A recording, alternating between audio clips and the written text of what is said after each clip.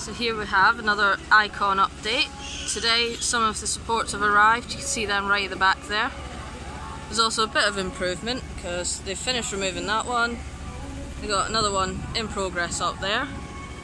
If you were closely watching the last video, you would see that a bit more of the stations up that was lying on the ground.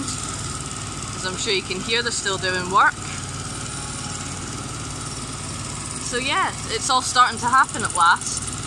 Obviously a lot more to still come in. It's all coming up up by Skyforce down there. You can see the crane actually bringing them over. So nothing going in just yet, but it's exciting to see everything's actually arriving and on site and they are actually building a coaster.